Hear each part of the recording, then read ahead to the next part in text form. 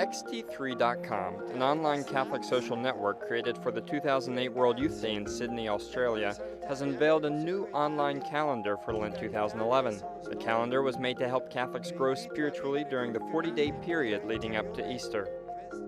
This new calendar offers daily reflections, passages from Scripture, videos that explain Catholic teaching, and stories from the lives of the saints. The calendar will also suggest a daily Lenten act to help Christians prepare for Easter. The first calendar feature will appear on Ash Wednesday, March 9th.